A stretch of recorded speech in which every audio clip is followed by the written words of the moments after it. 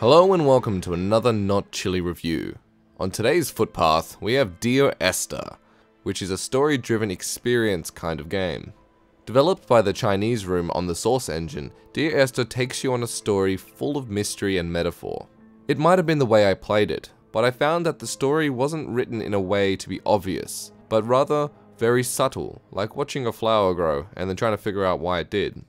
That being said, it is a beautiful game, which has a very well presented gameplay visual style with a matching musical score.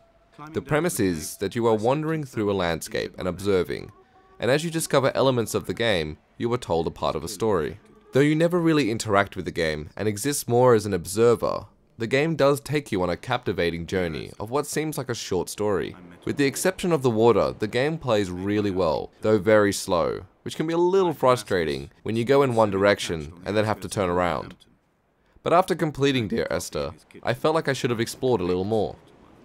Not being sure if that would have revealed any more of the story. What I will say is the game felt like Half-Life The Lost Coast, with a lot less interaction and a lot more story.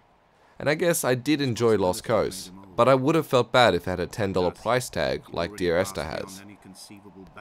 I did get it with the Humble Bundle though, and so I didn't feel the strain on my wallet, but I couldn't see myself spending more than a few dollars on this game. There is, however, the original mod of this game from the Half-Life engine, which you can actually download for free and play on Windows. I think get it, if it's on some kind of a sale.